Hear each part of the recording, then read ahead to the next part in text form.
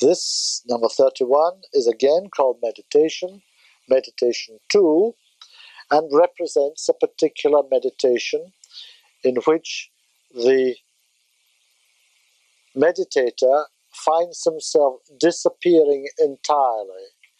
He is left with no sense of himself as a separate individual at all. But the center at the base of the spine and the center at the top of the head are activated together and form between them a kind of it feels like a steel rod. So powerful is the fire but the image the inner experience is as a kind of golden yellow oval elongated oval form like that in the middle of the picture surrounded by a field of golden light. And then that light emanating out and out and out into infinity so that he or she entirely disappears from the scene, but his or her consciousness continues to pervade that scene. It is a, an experience of becoming totally at one with the whole of the universe. The forms at the top and the bottom and at each side are simply elements in the picture to focus that experience. Ideally, the picture should be limitless in size. It should just go on and on to the to the sides and up and up to the top and bottom because it represents infinity. But of course, there's no way you can do that in a painting. One has to draw the line somewhere, and the lines are of course drawn here by the edges of the of the canvas. This number 32 symbolizes that aspect of ourselves, the fire, the Shakti, the fire of the earth coiled, Mother Nature, the fire of the female, the mother aspect, coiled at the base of the spine. By its gradual movement up through the chakras until eventually, in great power, it reaches the head center, enlightenment comes about.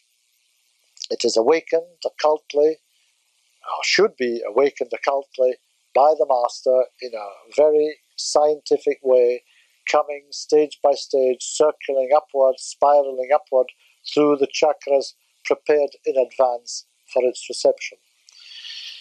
It is not infrequent that infrequent when, that uh, various disciples, aspirants, ignorantly and prematurely awaken that fire by all sorts of yogic meditational methods and do themselves enormous harm.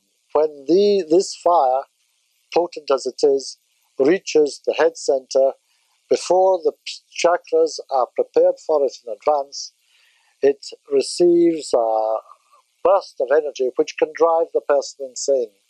And many people ruin a complete incarnation by the premature lifting up of the Kundalini fire coiled at the base of the spine. It should only be done under the supervision of a master. This number 33 is Kundalini Rising 2. There are three versions of this here. This represents the same fire coiled at the base of the spine and shows its, its spiraling movement up from the base of the spine until it meets with the fire of spirit gathered and centered at the top of the head.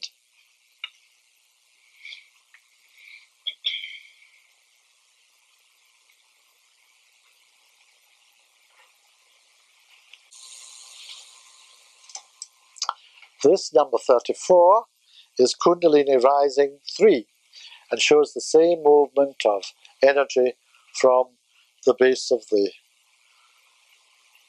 spine up through the various chakras to the top of the head to meet the fire of spirit. These are simply three versions of the same symbolic idea. This picture, number 35, is called Shakti 1 and is another version, an earlier version of the same image.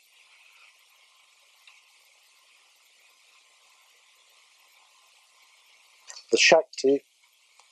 This, uh, this is another version of the same image called Shakti.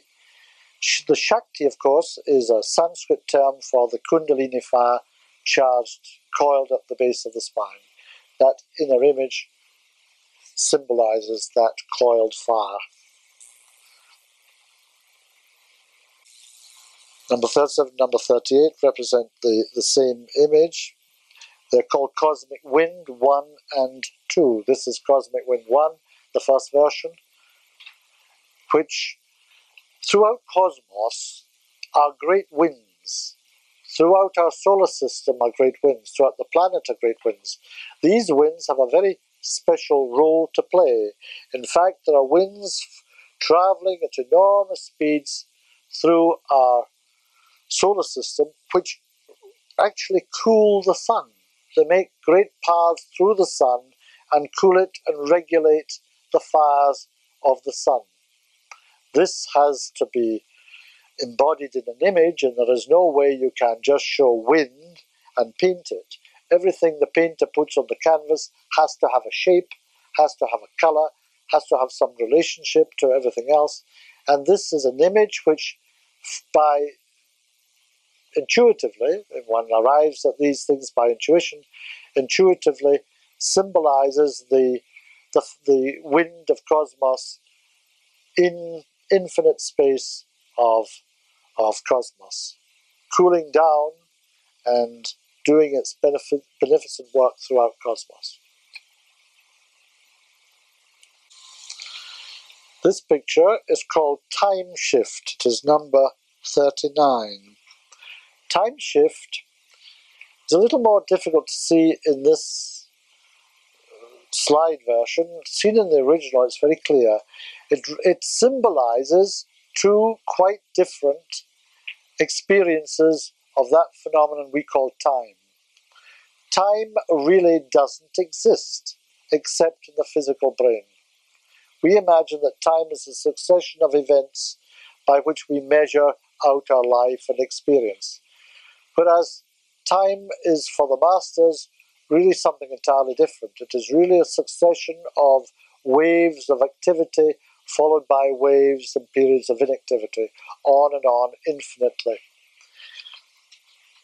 The image here acts by looking, if you look along the edges of the forms, that you see at one moment two blue forms linked together by a kind of horizontal rod which seems to move from left to right across the picture against a red background. Look again. Look at the red now and you see a red frame through which you're looking at a blue infinite space. That blue infinite space is the true nature of time. The blue forms moving across the picture on the red background is our purely physical brain notion, quite erroneous, of time. That's why it's called time shift.